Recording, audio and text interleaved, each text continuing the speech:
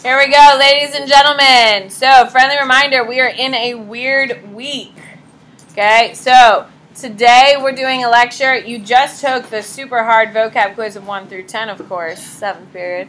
Uh, Monday we have no school. Tuesday you have 11 through 20. I'm not seeing you Wednesday. And then you are, of course, testing on Thursday. So next week you're losing a day because we're testing on Thursday. So keep that in mind. It's a very strange kind of thing. I would like us to focus on the study guide today. Is that okay? And then on Tuesday, we'll hit the hardest stuff in the focus. Is that okay with you? Okay. So, yes. Oh, we have whiteboards. Let's use them. Oh my god. No, I will not be bullied by high school students. I am an independent woman and I get to make my own choices. And I get to bully you, you don't get to bully me. Uh-oh. My thing's broken. I know you're going to have to hand crank it. Okay. On your whiteboard, please tell me what is, uh, what, You just want to use on your whiteboard, please tell me what is the study of abnormal psychology, uh, abnormal behavior called? Look at your notes there, boss. Good. Ian. Psychopathology. Psychopathology on your whiteboard. Please tell me what is it called when anything that does not follow uh, allow a person to function, which means they can't dress themselves, they can't cook for themselves, they can't do basic necessities. What do we call that? Kate, we're doing whiteboards. Join us. You're so annoying today. I feel personally victimized by you today. Curtis. Maladaptive on your whiteboard. Please tell me what is a social or environmental setting of a person's behavior called? So, depending on the social or environmental uh, setting of a person's behavior, we can see if it's normal or not normal. So, if I was standing outside my room and I was yelling at someone, that would make sense. But if I was standing in front of you, it would not, and screaming at a super loud volume would make sense. What is it, Jalissa? Situational context. On your whiteboard, what is you? Uh, what says that a mentally ill person should not be held responsible for his or her, her actions? What is it, Annie? Insanity. Olivia, this works better when you use the board. I'm just going to say. On your whiteboard, what theory believes that it is based on biological changes in the chemical or structural or genetic systems of the body? What theory believes that? Corinne? Biological. What theory believes that abnormal behavior is coming from irrational beliefs or illogical thinking patterns? Good. What is it, Caroline? Cognitive model. Which belief system uh, theory believes that abnormal behavior stems from repressed conflicts and urges? Good. Kaylee. Psychodynamic, psychoanalytic. On your whiteboard, what sees abnormal behavior as learned? Good. What is it, Emerson? There you go. On your whiteboard, please tell me what tool do we use to diagnose disorders with? Good. Olivia! Look at who's participating for the first time. DSM for, there you go. It does say DMS. It's DSM. Diagnostic and Statistical Manual. All I gotta do is change it. Why? Yeah, who cares? Girl, we got bigger problems. We got coronavirus, okay? We got bigger problems. Is it true that Rome is under quarantine? Yes. Rome? I don't know if Rome is. I think Venice is. Florence Florence is. Is. Florence is under quarantine, I yes. don't Florence. wow. I think that's an unpopular opinion, but if I've ever heard one. On your whiteboard, how many axes does the DSM-4 have? How many axes? Madison. Five. Which axis is all about personality disorders and mental retardation? Good. What is it, Sophia? What axis is the global assessment of functioning, which I'm going to go over in much more detail on Tuesday? Good. Sydney. Five. What axis? Clinical disorders and other conditions. Good. Kate. One. On your whiteboard, please tell me. What is a disorder in which the main symptom is excessive or unrealistic anxiety and fearfulness? What type of disorders? Good. It's not as hard as you think, people. I literally told you what it was. Uh, Grace Mary. Anxiety. On your whiteboard, please tell me what is an irrational and persistent fear of an object, situation, or social activity that consumes your every waking minute? Emily. Phobias. What is a fear of being in a place or situation in which escape is difficult or impossible I think this one was the one for not wanting to leave your house. Huh? That is the one that you don't want to leave. No, that's house. social phobia. It's a field. It's like open spaces. Claustrophobic. I don't know. There's like 10 th- bajillion Social phobias. phobia is like not wanting to go out. So Like interacting with other people. basically when you say. Yeah, it's agoraphobia. All right, here we go. Okay, so let's start. Can we not with my belongings?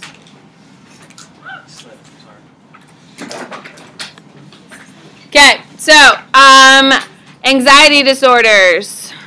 So the next type of disorder uh, that fall under, of course, the heading of anxiety disorders are panic disorders.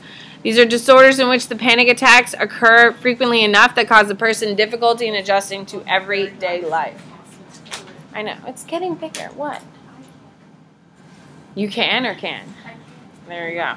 I have a video for this, so I was trying to pull up my videos. Is that okay with you, Alexis? Mm-hmm. Me too. 10, 15 minutes. What? She said I hope it's long.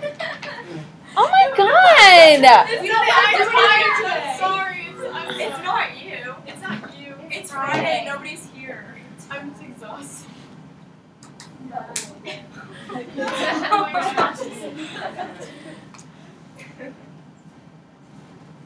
It really is you. It's so That is so mean. It's not you. No. No, it's not at the moment. We don't know what it is. Okay, so panic disorder is a disorder in which panic attacks occur frequently enough to cause a person difficulty in adjusting to everyday life. Ladies and gentlemen, any single person can experience a panic attack. Just because you've had a panic attack does not mean you have panic disorder. Panic disorder is when you get panic attacks all the time. Has anyone in here ever had a panic attack? I've had one. Well, then I won't count it then. Okay? Um, would you agree that they're absolutely terrifying? Like, you literally feel like your heart is going to literally explode, right? Like, you can't breathe. You really do feel like you're going to pass out. Um, you're sweating profusely. Um, it is just like anxiety is just like pulsing through your entire body. It is absolutely horrifying. Would you agree? People who've had panic attacks. And after you've had a panic attack, don't you crash for like two days? It takes really like two days to recover, like because they're just so exhausting. They are absolutely traumatic to deal with, and they are absolutely devastating. With that being said, any person can experience a panic attack. I've had one in my life. Do I have panic disorder? No, I do not. I was going through a really rough time. Um, I had a ton of things go horribly wrong, and um, I, sh- I I don't know if you know this, but I'm a very high stress person. And with that being said, um, I had just a ton of things go wrong, and literally had a complete breakdown, and had a complete panic attack, and literally um, had to lie down on the floor to try to like pull my breathing together. And it was absolutely traumatizing and so embarrassing. Thank god i was with people who i generally feel safe with and i wasn't like out in public. But imagine being out in public and knowing that everyone's watching which would only add to the anxiety of the whole thing. Now people who have panic disorder have this what i just described to you all the time and it can be triggered at any minute, at any moment of the day. So, do you think they're anxious about panic attacks? Yes. Do you think that makes it easier to avoid panics attacks or harder to avoid panic attacks? Harder. And that's the problem. And that's what occurs is that it is incredibly exhausting. It takes physical toll, emotional toll, social toll because if people don't understand what's happening, they're like, oh my God, like, are you okay? And then it just makes it like worse. There are people here at Plant, I've had two or three kids have panic attacks in my classroom. Maybe it's just my classroom.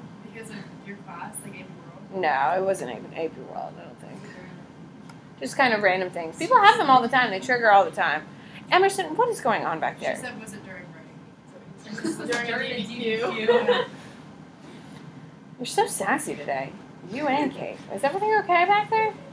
Yeah. Okay.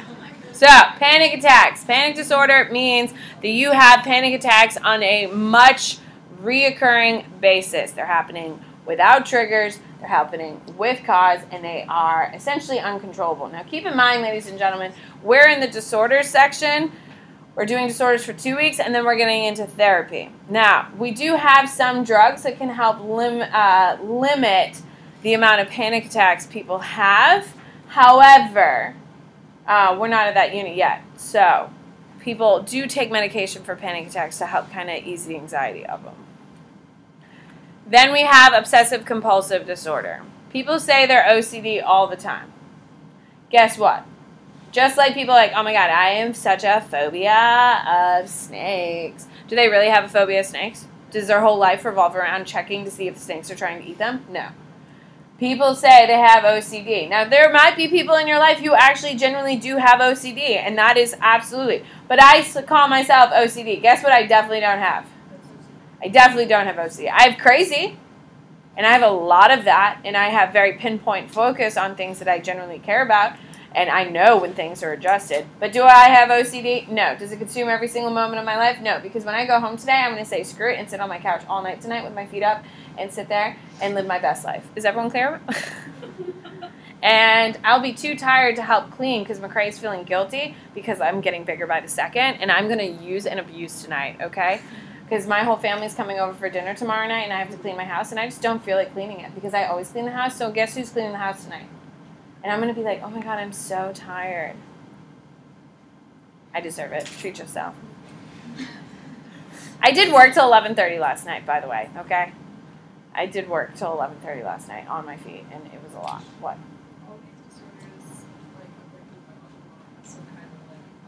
Yes, but if you look at the cognitive, there's also a reason for it too, which we're going to get to here in a second. Okay, so obsessive compulsive disorder. These are reoccurring thoughts or obsessions. When you Olivia, it's rude as hell. Thank you.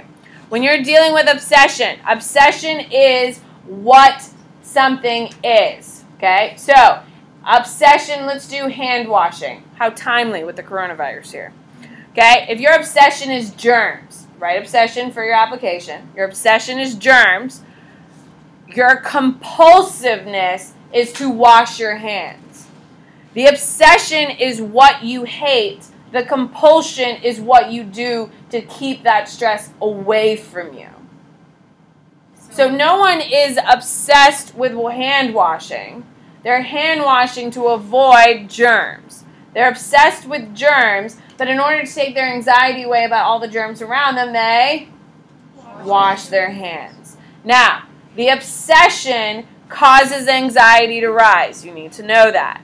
The obsession causes anxiety to rise. The compulsion lowers anxiety. So, if I am if I am OCD and I am obsessive about germs, by washing my hands, I make myself feel better. So, the only way I can cope with my anxiety is to what? wash my hands. And that is why people wash, some people wash their hands up to 400 times a day. Lot of water. It's a lot of water, and they are constantly doing it, and it ruins their hands. Like their hands are super cracked because it dries them out, and all these other types of components. Like it's insane. Like OCD is like a real life thing. So another type of OCD, MTV used to show TV shows. They showed like instead of reality TV, they used to have a show called um, True Life. And if you ever get bored and you want to fall into a vortex that will consume months of your life, True Life from MTV. It's on YouTube. You can see all of them. They do a ton of obsessive compulsive, and they're fascinating. There are people on there who are obsessed with, um, who think their house are going to burn down. They're afraid. They went through a fire. Their house got burned down, and so because of that, they became obsessed with fire. Okay, and their compulsion is to check all of the knobs and all of the security panels and all of the electrical sockets. So there's this one guy on one of these like shows who literally goes through and unplugs every plug in his house every time he leaves his house.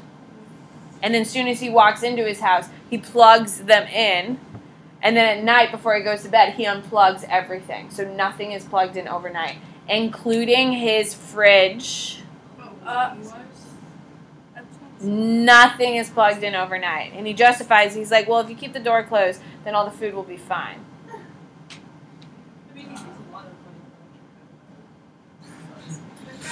Yeah, but all the like food in your fridge, and that's what they point out. Like all the food in your fridge thaws a little bit and then refreezes and then thaws a little bit, and that can get you really sick. So, like, oh my god. But his obsession is fire, electrical fire, which has caused the first fire that he experienced, which he didn't have OCD before. And then after experiencing electrical fire that completely destroyed his life and burnt up all of his belongings, he now is upset and compulsion of plugging things in. That's what OCD looks like. Does it affect every aspect of his life? Does it impede on his ability to do things?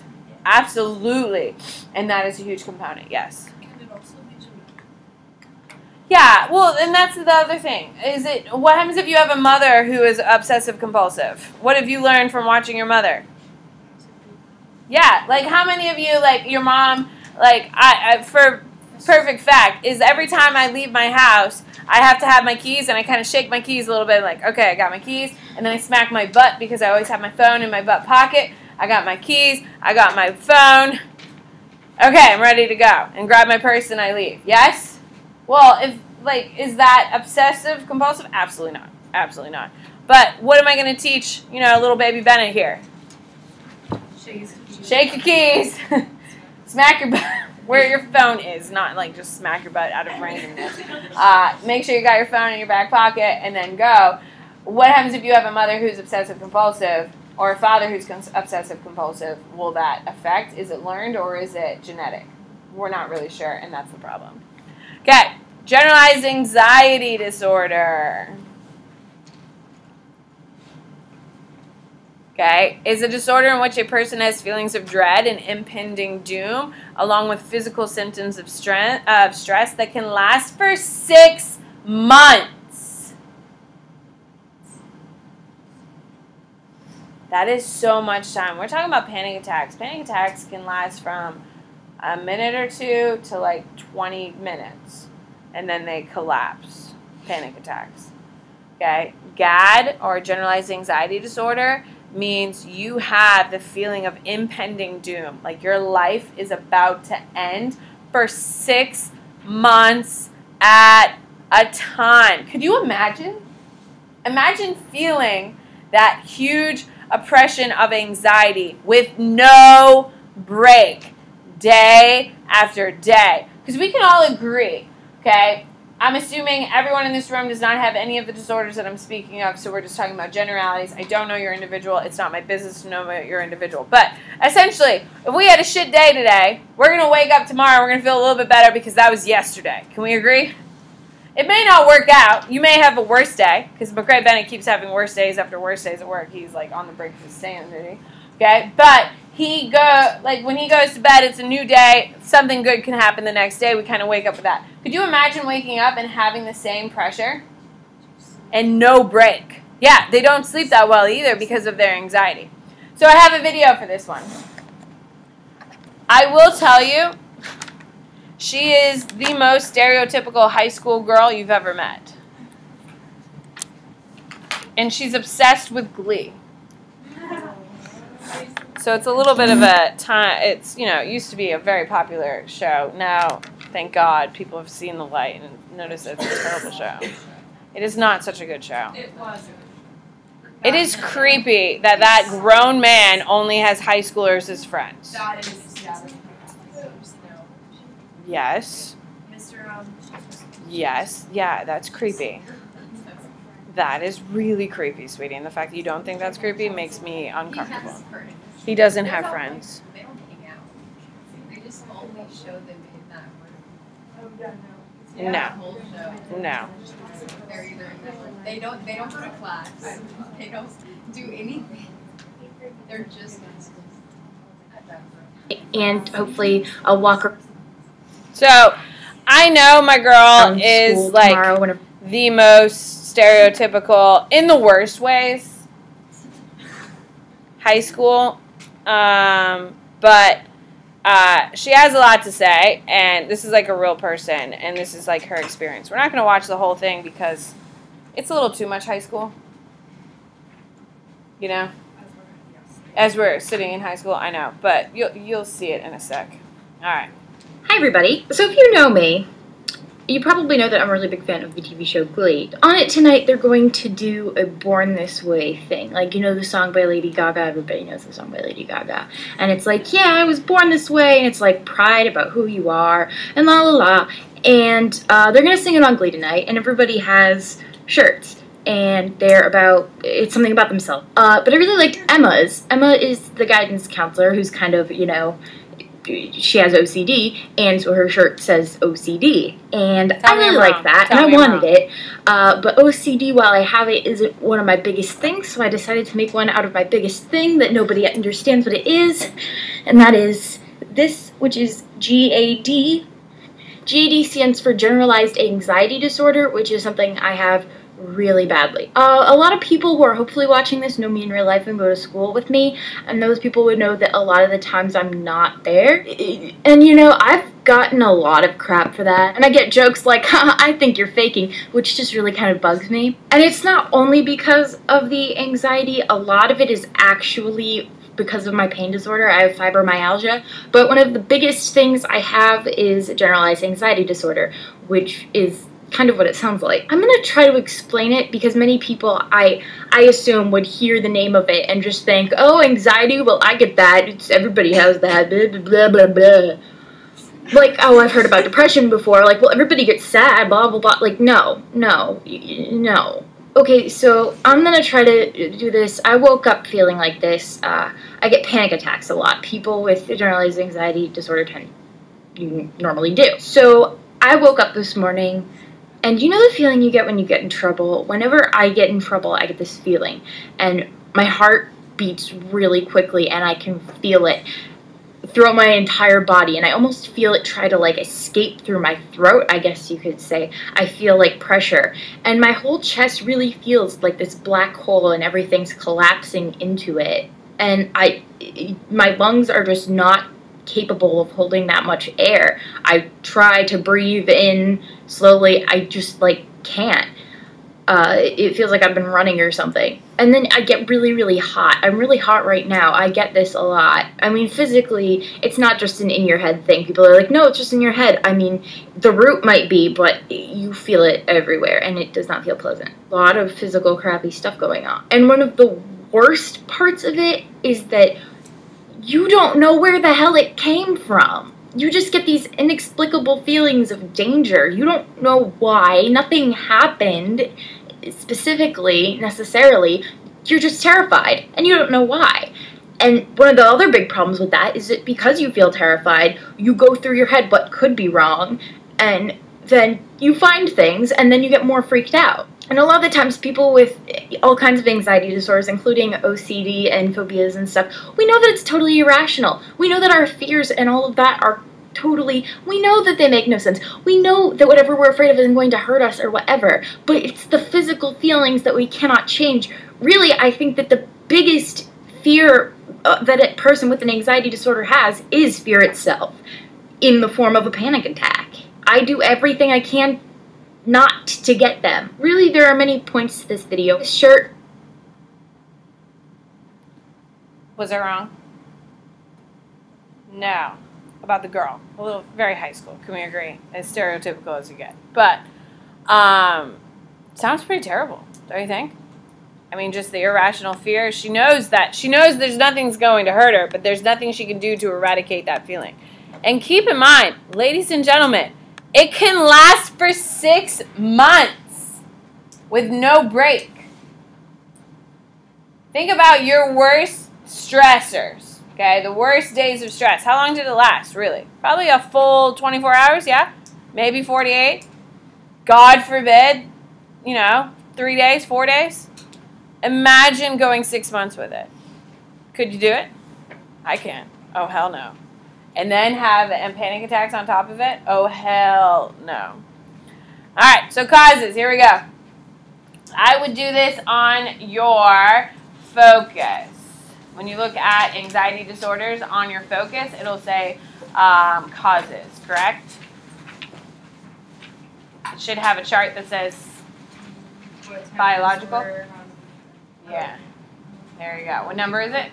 Uh, ten. Number 10. Perfect. Huh? It doesn't say cause, Let me see. but like close. Oh, well, we could just do number 9, which we know of. Um, perfect. Okay, so, ladies and gentlemen, for number 9, you should be able to fill that in right now. I'll give you a second to fill that in. And then, so if you're suffering from an anxiety disorder, according to a psychoanalytic therapist, they're going to say that it's because you have repressed urges and desires that are trying to come into consciousness that is causing it. So you're not doing your best, you're not living your best life the way you should be. And that's why you have anxiety. According to behaviorists, it's a state that it's a state that that disordered behavior is learned through both positive and negative reinforcement. So a behaviorist would see this girl that I just showed you, my Glee fan. Number nine is what you should be filling out.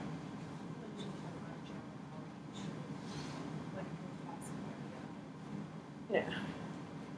So, for behaviorists, they will see these uh, anxiety attacks is that this girl continues to have these um, generalized anxiety attacks because she gets positive reinforcement because people are like, oh my God, you're here today. You're never here. Oh my God, how exciting. Like, she gets positive reinforcement from that. Cognitive believe that its excessive anxiety comes from illogical thought processes. So, and then we'll fill in your focus because I got the next part here for your uh, study guide. I mean, you're doing number nine right now, Sophia, Yeah, I just read the definition. And then anxiety builds up in people, how it, it builds up. and it can last for six months. How it builds up, it can it's consistent over six months and includes panic attacks Consistent like daily or like. every day.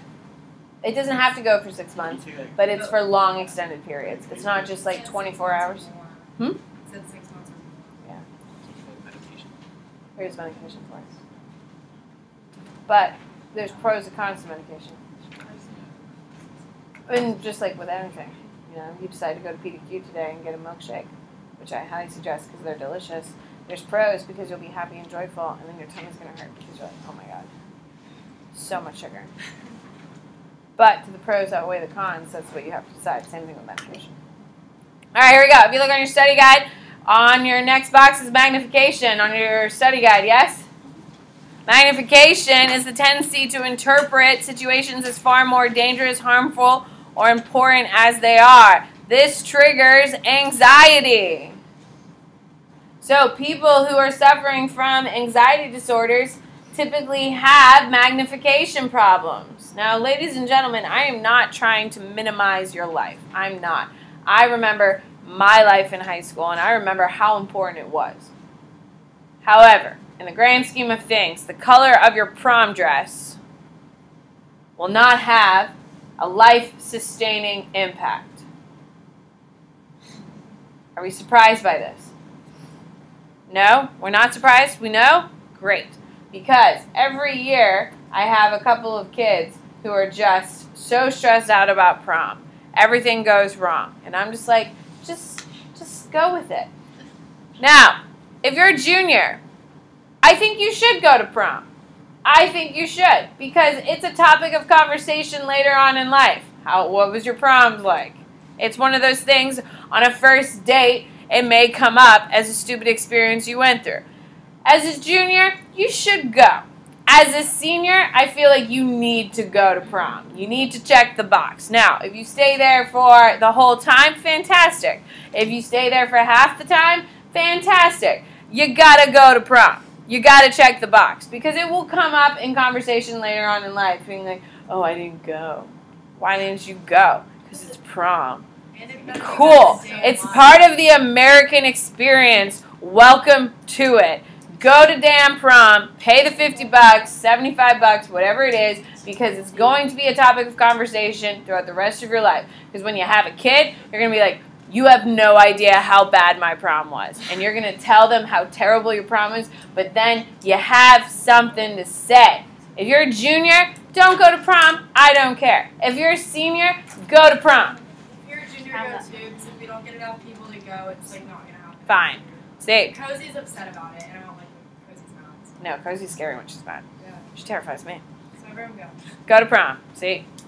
I don't personally care, juniors, but seniors, you need to go. Magnification. It's the idea that something that's small and trivial has a huge impact on your life. All or nothing thinking. This is going to happen today. Isn't that Florida? Is Florida out now? Oh, God. How stressful. You not stressed? Oh, well, then that's why you got a big smile on your face. You're like, hell yeah. Okay? All or nothing. Ladies and gentlemen, Florida Day is the worst day of the year here at Plain High School. They used to do it in the middle of the day at 11. I'm glad they're doing it at night.